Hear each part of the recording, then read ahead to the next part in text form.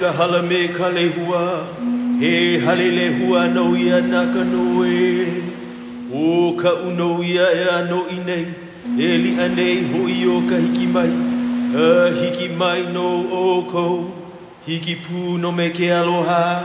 Aloha e, aloha e, aloha e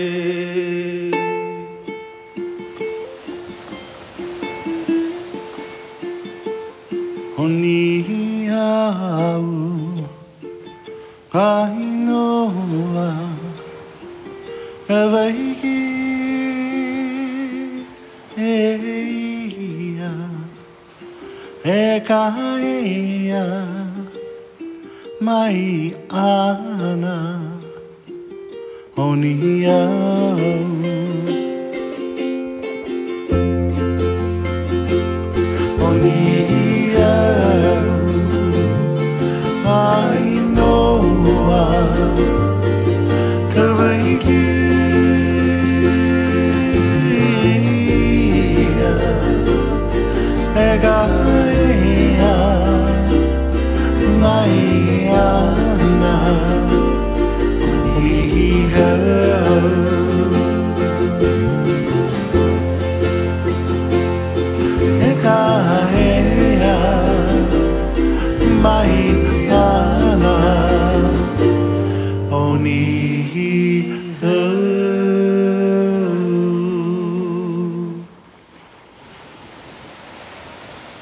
Let's see, uh, we're, we're, uh, we're Ka'amea. I'd like to introduce the band.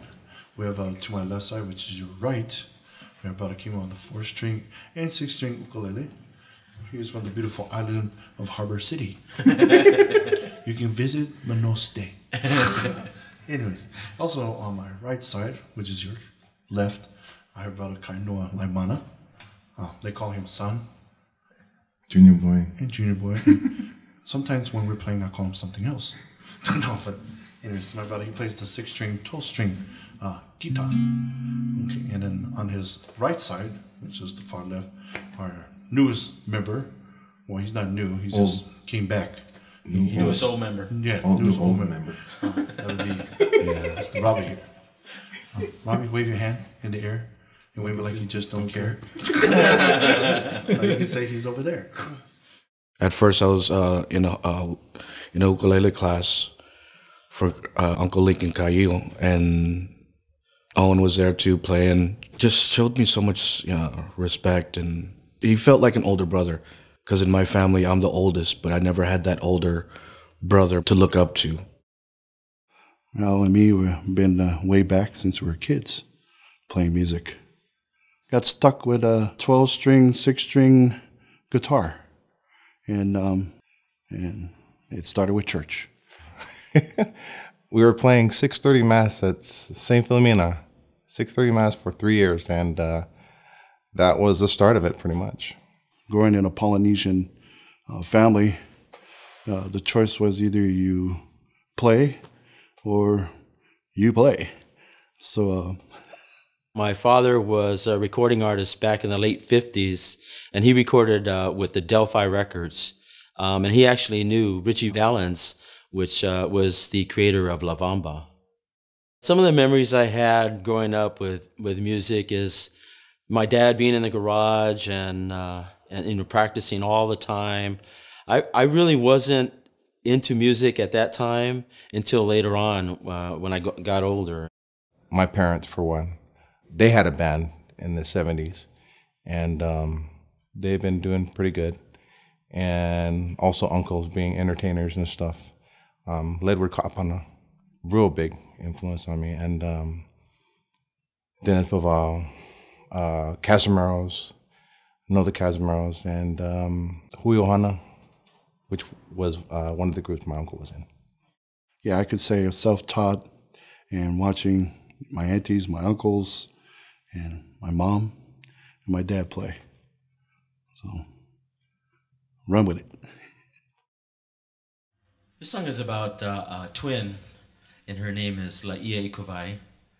Um, she was hid, hidden in a cave underwater to be kept from being killed because one of the leaders of this community he wanted a boy and they kept having a girl, so they had to hide her so she wouldn't be killed. She went and stayed in a place called Paliuli, and this song talks about the uh, journey that this one person goes through trying to find her. Um, and she's so beautiful that that when you go to her house, she's actually off the ground and lifted up by birds. So this song talks about that whole that whole journey, and it's called La Ia e Kawai. Can you imagine what kind of bird's gonna lift me off? like to see that one. Big bird. like,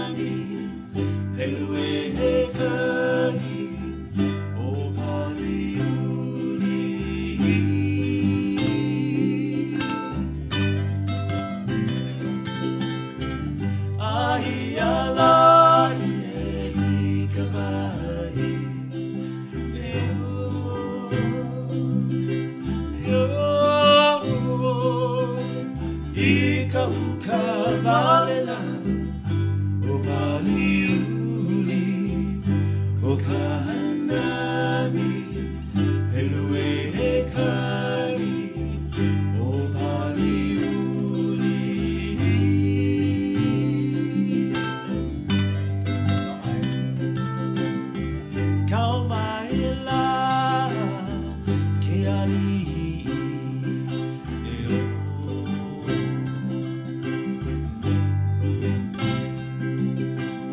I ka he heu o nā manu o ka hanani e lue he kai